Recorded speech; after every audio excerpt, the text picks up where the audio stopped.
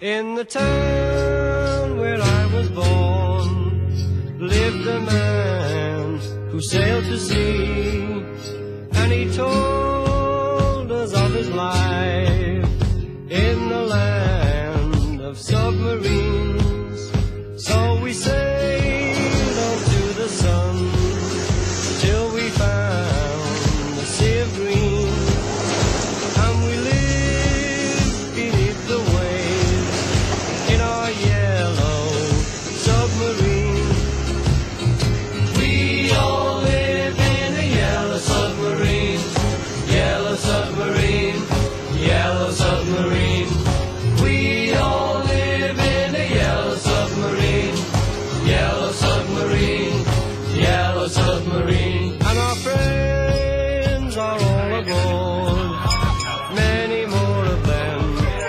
Next door.